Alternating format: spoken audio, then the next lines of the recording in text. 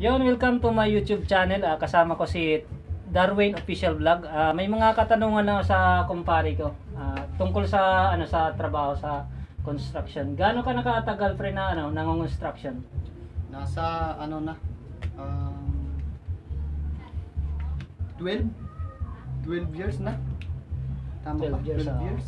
Yung mga kagaya mga karanasan nung nagsimula ka pre sa construction, 'di ba? Naranasan mo na ba yung pupunta ka sa trabaho na pamasahe lang yung dala, wala kang kahit anong pa sa pagkain? Ganun. Oo, naranasan ko na talaga yan, pre. Ang hirap sa ganung sitwasyon. Tapos nandoon yung manghihiram ka ng pamas ano, pampamasahe. Oo. Di ba kasi kailangan eh. Lugmok na lugmok talaga yung utak mo dun sa pagka gaya ng ano, gaya ng pagka hindi tayo gagawa ng paraan, lalong magugutom yung pamilya natin. Hmm. Ganun. Kasi, Ngayon, ikaw, oh, sige. sa'yo, yung sa mga construction na ganitong trabaho natin, paano ka ba nagsimula? Nag, Gaano gaano ba ka ano, gaano ba ka ano yung Kahirap. ano, kahirap yung ano? ako nung ano, yung naranasan ko sa construction, ano, siyempre lahat tayo nagsimula sa labor.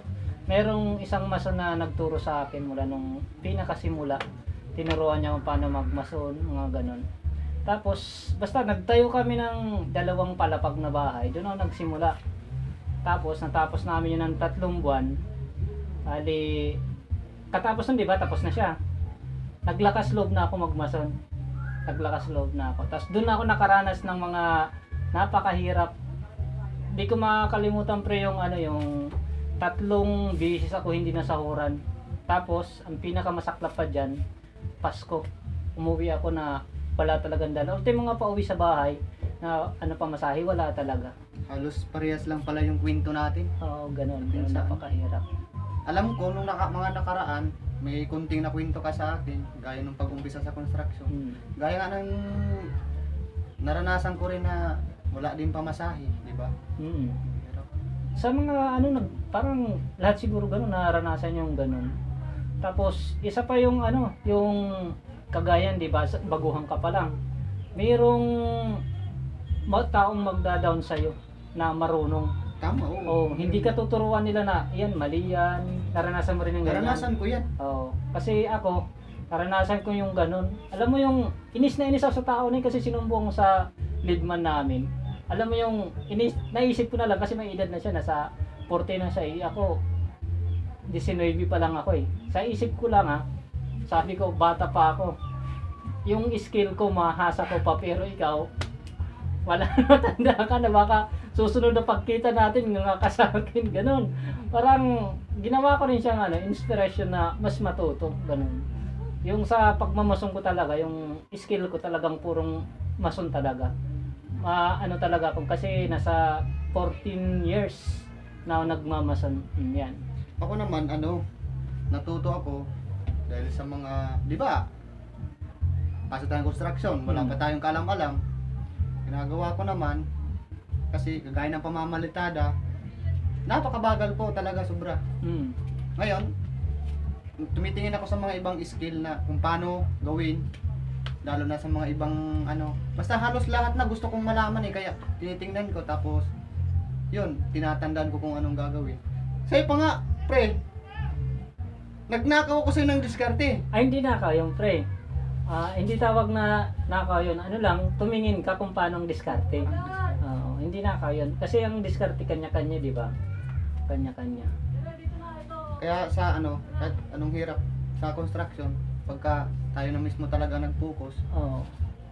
ayun, ngayon, na ano natin, nakamit natin yung ano, Skill na na, alam. skill na gusto nating malaman. Pero yun nga lang, construction pa rin. Pero ano, ito naman yung kwento ko ano, kasi tatlong, basta tatlong beses ako kasi yun mga subcon yun na napasukan. Bali, ayun nga, nung nakapasok ako sa yung sa kumpanya, may malaki ang pinagbago, alam mo yun, di ba? Dati kasi, ni makabili ng isang pako, di ko kaya bumili. Pero nung dyan sa kumpanya, paunti-unti akong nakaano, angat. Basta ayun nga, natuto rin mag ano, kunting ipon Ganun. Eh, ako. Didoy. Pero ang pinakamaganda sa'yo, pre, kahit isipin mo, di ba? Nauna ako ng construction. Siya, eh, di ba ilang taong ka na ng construction? Nasa ano? 12 ba? Ay. 11? Wala, wala pang 12 kasi 11. Wala pa kasi kung ano yung anak, ilang taon yung anak ko, doon ako nagsimula. Hmm. So, ibig sabihin, Nasa 19. ah, 9 pa lang. 9. O isipin mo, pa lang pala. ako 14 years na ako ng construction. Ang laki ng lamang mo sa akin. Alam mo bakit? Lahat ng skill nakuha mo. Kasi di ka kasi pumasok sa kumpanya talaga eh, di ba? O sa bahay-bahay lang. Kaya lahat ng skill na subukan mo. Ako talaga, first time ko lang yung ganito na yung sa inyo. Di ba? Yung pumasok dito sa bahay-bahay yung ngayon nagka-pandemic. Mga residential, residential na Hmm. ano ka. Totoo talaga yung kasabihan na ano, pag mga bahay-bahay ang gagawin, mas lamang ka kasi lahat magagawa mo. Ay, oo. Oh, totoo ba? talaga. Kasi, pagka ikaw yung pumasok sa ganon, tapos, ba, may isang amo ka na ganito ganyan, Hmm. papatrabahoin sa bahay niya, tapos lahat ng gagawin, ikaw yung gagawa. Pero kahit di ka marunong, ma gagawan mo talaga ng paraan kasi nasa atin naman kasi yan kung Oh, yun. subukan natin wala namang mawawala. Walang mawawala. Walang mawawala. Kasi tulad nga nasabi, di ba, na, lahat ng tao nagsimula sa hindi marunong. Oh, hindi marunong. Mm. Kaya, ano, pagdating sa mga ganyan, ang meron sa akin lakas loob. Ayan o, lamang ka dyan. lamang Lakas loob. Kasi isipin mo, lahat talaga ng skill na kuha mo. Grabe. Doon ako bilib talaga sa isipin sa 9 years na yan. Lahat nakuha mo yung skill. Karpintero, mason, tile sitter, welder, pintor, ano pa ba pre? Tubiro. Ano kasi Diba? pre, ganun talaga. Oh, Palakasan lakas, ng lakas ng loob. loob. Mm. Para ano, kahit hindi mo pa nagawa, gagawin mo, para matuto ka, para ano. Bukod pa sa matuto, kasi siyempre, kailangan talaga natin ng trabaho para sa Oo. pamilya natin. At saka yun yun lamang mo sa'yo, ano, pre. Kasi ano yun eh, wala kang tambay eh. Lahat kuha eh. Wala kang tambay. O promise. kasi nga yung iba kasi, nag lang sa isang skill, di ba? Oo. O di kapag paano kung walang mapasukan na ganun ng skill, di tambay ka talaga, di ba? Eh, sa ganun ng buhay ng construction, sa buhay kasi ng construction, laging merong ano, may, di ba kunyari, tuloy-tuloy trabaho mo, may taon din na may tambay ka, Oo. di ba? Meron, meron. Naranasan mo rin ng Naranasan di ba? ko na yan. Mhm. Sobrang hirap. Pagka natambay talaga, grabe. Mm. Eh, tapos sasabay pa yung mga pangailangan sa loob ng bahay. Mm. Oh, isa na yung isa na yung tubig, Yan, isa. kuryente. Bukod pa doon, yung pagkain. Oo. Kaya ang hirap. Kaya sa buhay natin. Sige lang. Oo. Yun lang talagang maano ko. Pero yung lamang lang talaga, pre, ah, kailangan kahit construction lang yung trabaho natin, di ba? Kailangan kahit pa paano marunong ka magtabi. Kaya nga. Kasi nga, tulad ng sabi ko, ano siya, ah, hindi laging may trabaho. Kahit skill pa tayo, kahit marunong tayo. May, basta may buwan din na natatambay, hindi man, ano, Ah, meron talaga. hindi eh. man sabihin na matagal ang tambay. Ang problema, may tambay ka rin. Paano kung wala kang ipon, wala ka rin makukuha, di ba? Kaya ako naman, yun ang natutunan ko rin sa sarili ko na magtabi ako konti kasi nga once na matambay ako, may mabubunot ako kahit pa paano. Ganon. Ano ako yung parang advance na ako mag ganon. Ikaw pre, sa tingin mo? Ako, gusto ko yung ganyan. Hmm. Kaso, alam mo naman, Oh. sa sitwasyon ko, medyo tagilid. Tagil, di, naranasan ko rin ganyan Pero- pre. Kung nagawa mo pre, Yan, o yan. nagawa ko. Ayun na nga, oh, na, nasa tao pa rin kasi. Siyempre, ikaw pa rin yung mag-decide sa sarili mo, di ba? Kung paano. Siguro sa una, magasto ka lang. Kasi ganun ako talaga dati, pre. Isipin mo dati, wala rin ako na yung uwing sahod. Para untang tapos may utang pa ako. Ganun. Tapos, basta paunti-unti ko din na tuklasan na, siyempre, kahit pa kunti-kunting tabi, malaking bagay din pala siya pag naipon. Totoo talaga yun pre. Mm, napakalaking bagay. Lalo na sa kagaya mo pre, di ba? Pormang ka na namin dito sa trabaho, di ba? Sa trabaho, di ba? Napakabilis, napakabilis ng pangyayari.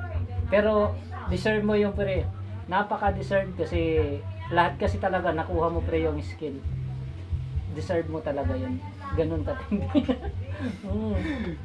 Ako, masaya talaga ako na Ah. naabot ko rin yung ganon. Tapos, masaya ako na kasama ko kayo.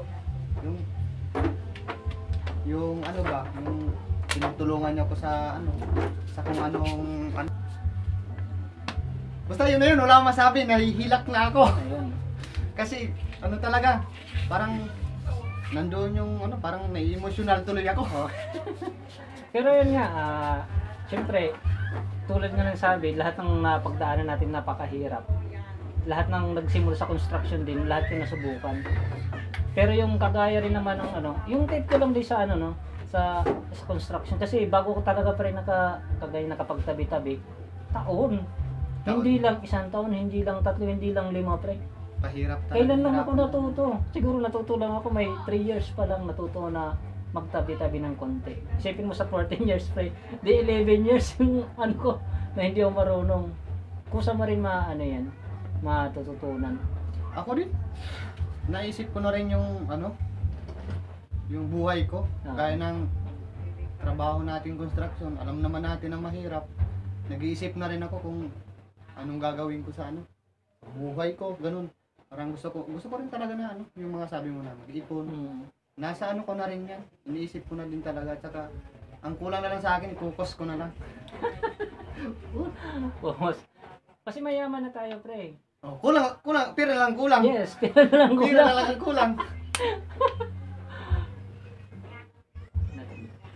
kahit anong ano